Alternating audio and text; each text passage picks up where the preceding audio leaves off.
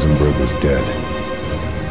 I was committed now. Both the Russians and Germans would know I was in play,